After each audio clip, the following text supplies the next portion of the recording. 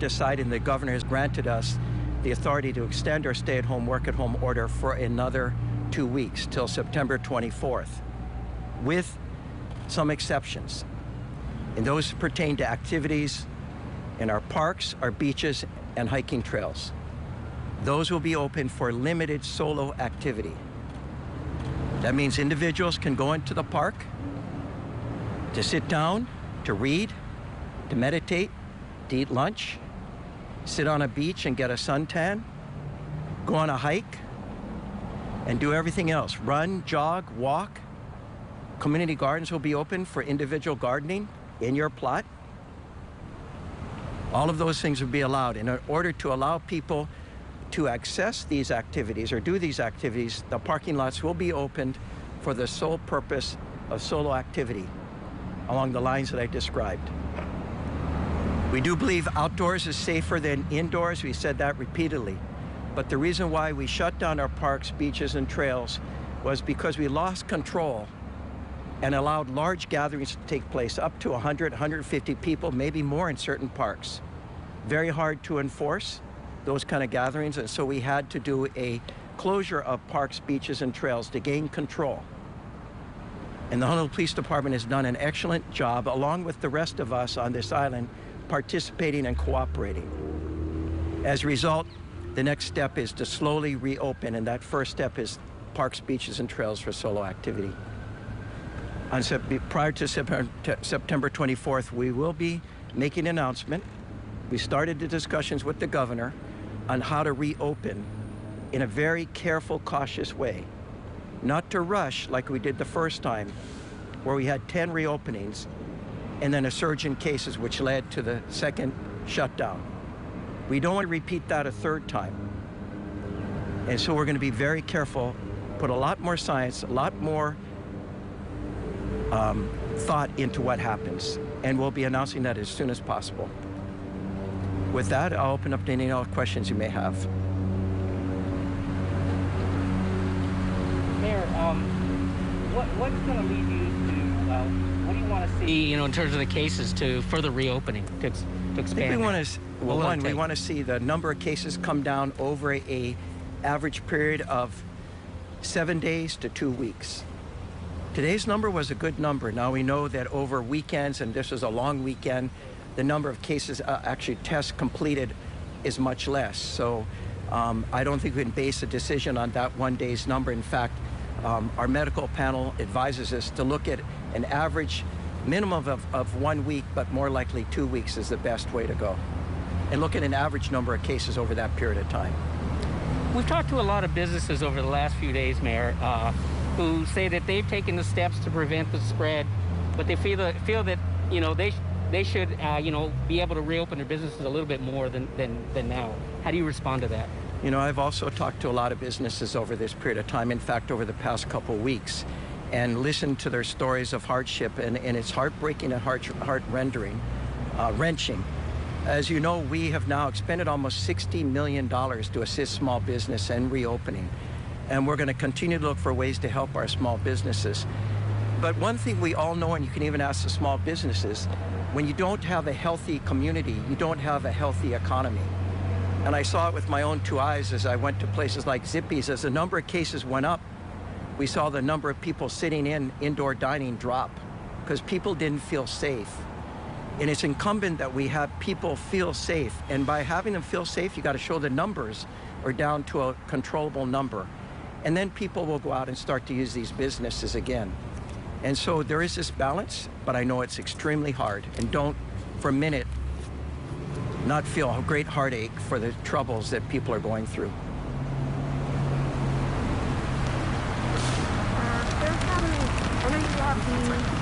Oh, sorry. You have the Small Business Relief Fund uh, and plans to add to that as well. I know there's another proposal out there to maybe give relief to landlords on their property taxes. Can you maybe share your thoughts on a different type of model for um, landlords? Yeah. So I prefer the model that we're doing versus the one you describe. And the one you're describing actually is we give to the, the money to the landlords who in turn pay their real property taxes and forgive lease rent to those tenants of theirs. I'd much rather just give it directly to the tenant, which this money can go to lease rent, for example. And it's a more direct assistance than that indirect pay it to landlords who in turn pay it to their tenants. And some of these landlords are groups like Ala Moana Shopping Center, and their tenants can be high-end net worth, high-end type of retail. I'd much rather give it directly to those who need it the most. Mm-hmm. There are some local landowners, though, I guess. So I guess when we refer to those, and the, the model would really take into account local business tenants. Well, it, it right now the, the program goes to local businesses that have a storefront. So the kind of things you're talking about, landlord, there's a storefront. And that money, again, about 60 million has now been given out to them directly.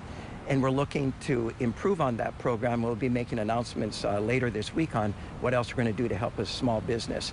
But bottom line for me is get it directly to the small business, not to the landlord who in turns gives it the small business. I think a more direct approach is the approach I prefer. Although the other one is an interesting one that I don't dismiss, but looking at all things being equal, I think our program is a more direct approach. Uh, Mayor Christina Jedra, Civil Beat, why not allow people who live in the same household to visit parks, beaches, and trails together?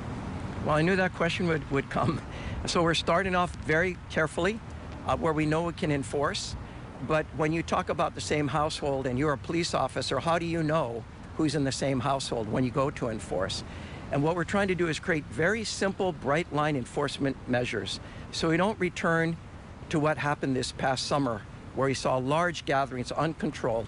This is the first step to get back to a reopening where we can control those gatherings and have clear enforcement guidelines.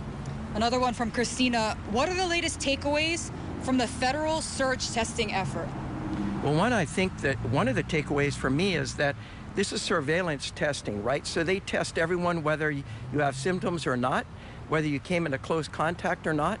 And what we're finding is that through surveillance testing, um, while we know that the virus is widespread, it's not everywhere in our community because the positivity rate is relatively low compared to what we call as diagnostic testing, which is testing for those who have symptoms or came into close contact. That positivity rate is much higher. So as a leader for the island of Oahu, it tells me that, you know, it's not everywhere. That's good news. At the same time, it tells us we need to be more strategic in how we test going forward. The other thing is, it, I think it helps our community um, know the importance of getting tested.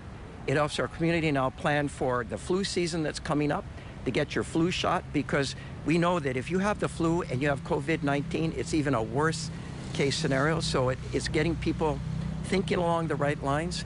And I even think further down the road to a vaccine. When one comes, where now we do surge testing, and our community is showing a real resilience and adapt, uh, adoption of surge testing, they can do surge vaccinations. Because we need to vaccinate 60 to 70% of the population of Oahu to open up freely and not have to worry about the virus anymore. That's a, that's a huge goal, but I think we can get there because he's seen what we've done with surge testing. Uh, Casey Harlow, Hawaii Public Radio, wants to know if you can explain the factors that led to this two-week extension. Number one is the number of cases still. It hasn't come down as much as we would like, um, and that, that is concerning. Of course, contact tracing and quarantine and isolation. As you know, the city has committed um, to uh, fund up to 250 contact tracers minimum and up to 500. We're in the final stages of ironing out the legal agreements with Department of Health because we will not be doing the tracing. We're going to use our CARES money to hire the Army that they're going to manage. And then quarantine hotels, we, as, as you know, we've got one hotel we're down to closing on a second hotel in a phased way, so we won't have to pay for all the rooms at one time. As they're needed, we will uh, take on a, a, bunch of the rooms on. And again, we're providing that with our CARES money, Department of Health, but they're going to manage and operate these quarantine hotels. Uh, Max Rodriguez, KHON2. Are families able to go to a beach or a park? For instance, uh, parents with young children. It's just one person at a time in the park, so it's going to be difficult to have a young child to take that child in the park with, with the parent. A follow-up from Max. With new leadership in the State Department of Health, are you working together to set triggers to reopen parts of the economy? Absolutely. Uh, through the weekend, we spent a lot of time with uh, our state government um, stakeholders and our city government stakeholders to talk about how we reopen a second time in a more uh, metrics driven, transparent way. And I would say that both the city and the state are working closely together on these metrics and this transparency like never before. It doesn't hurt that Dr. Libby Char, who's with the city, is involved in those meetings and will be going over to the state shortly. And, uh, but we see all hands on deck with the state working together.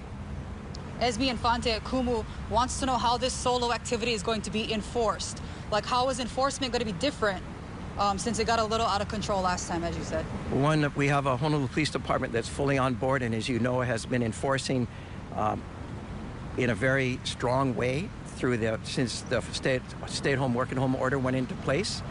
Um, and they're going to continue to do it in the same way. If you're running through a park by yourself, you'll be okay. If you're sitting on a beach by yourself, you'll be okay.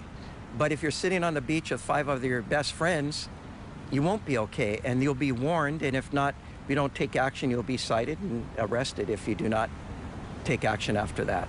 Same way as when parks are closed altogether.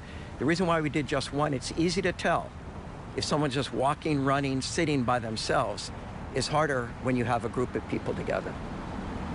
Uh, Kristen Consillio at the paper wants to know if you think tourism will be able to reopen by October 1 at this point. You know, I, I do actually think right now people come into Oahu every day, visitors do, and they have to quarantine. Sometimes a thousand at a time, 2,000 at a time. It's very hard to enforce against quarantine breakers when you don't know who they are, where they are. And so I'm, I'm for testing right, right now.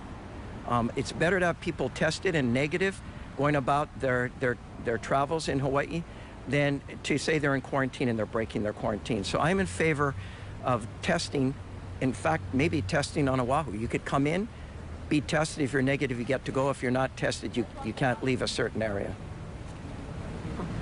So we've heard from residents that write in or call us that say that they are frustrated with maybe police responding to their calls, reporting to the COVID hotline that they set up, that they're not doing enough. The business that they report on, or the residents, for example, just goes back the next day and does the same thing because they aren't cited or arrested or whatever. What's your message to those people that are just so frustrated with how enforcement's going? Well, I, I, guess my message would be put yourself into the Honolulu Police Department's shoes. You know, there's about 2,100 officers on the island of Oahu for about a million people. And they are getting a lot of calls to their hotline and they go out and investigate. But as you know, even if they enforce against breakers of our requirements, they can go back and do it again and again and again. And so the police constantly have to reinforce, which they're doing. And I, you know, they've done an incredible job. And for the most part, you've seen that our beaches, parks, and trails are pretty empty. It's a sad thing to say, by the way. It breaks my heart as I look at the Star Advertiser today and see the picture out of Maili and there's not a soul on the sand. The good news is people are complying. The sad news is people aren't in the beaches where they should be. And so I believe the police officers are doing the best job possible. And we don't want those who are calling the hotline to give up. To understand their information is needed information to go and enforce. But also know it's just like when uh, you go in and you tell someone to stop doing something, they stop while you're there, they leave the park, and when you leave, they go back in again. And it, you have to go back and reinforce. And we're going to be doing that, but it's not perfect. Uh, Jurgen Steinmetz, eTurbo News. Today, U.S. Travel said they don't support any state enforcing a quarantine. What would you tell U.S. Travel? Well, I guess if you're in the travel business, you'd much rather have no quarantine so you can have people traveling. Um, but I also believe that traveling spreads the virus. When people travel, the virus travels too. And so it's simple for them to say, but on the island of Oahu, we had, you know, up to 300 cases a day. And many people have died. And so we have to look at it from that perspective too. Uh, Daryl Huff, Hawaii News Now. Uh, you say the case numbers are keeping people from visiting businesses. Shouldn't it be up to the businesses whether there is enough business to open their doors? Um, I, I, I believe that it's the job of government to protect the health of our community. And I do believe a healthy community leads to a healthy economy. It's simple as that. Max Rodriguez, KHON. Uh, if reopening metrics are yet to be decided, that implies that that 924 will not necessarily be reopening day for businesses. How soon will they get certainty on what their reopening dates will allow to be? Like I said, I, we're working to try to get some announcement out by the end of the week, early next week is our goal. Those discussions have started. And I also like to emphasize when you say businesses reopening, businesses are open. Our hotels are all open. Our banks are open. Our law firms are open. Insurance is open.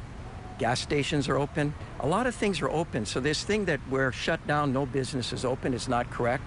But there are businesses that are closed. And we want to get those open as soon as possible in the safest manner. But the one thing we're not going to do a second time is rush to reopen and then have another spike and have that occur during the holiday season and say, Merry Christmas, Happy New Year, we're in another lockdown. So we're going to be much more cautious, much more conservative, and much more careful in terms of protecting the health of our community. Another one from Christina Jedra. Can couples go hiking but stay six feet apart? You know, it's, it's, a, it's a good question, but one I wish I didn't have to answer. You, individual solo activity. You should be hiking by yourself. But obviously, there'll be other people on the trail ahead of you and behind you. Got to use your best judgment. This is not about playing games with the virus.